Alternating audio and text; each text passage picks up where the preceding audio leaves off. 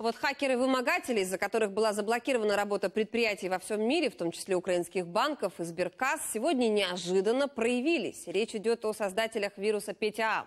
По информации интернет-платформы Motherboard, иностранным журналистам удалось связаться с хакерами и пообщаться с ними в закрытом чате. Сначала неизвестный выступающий от имени создателей вредоносной программы запустил обращение ко всем пострадавшим. Он вымогал за ключ к заблокированной информации 100 биткоинов биткоинов, это около 250 тысяч долларов. Однако на просьбу предоставить пример такой разблокированной информации злоумышленник ответил молчанием.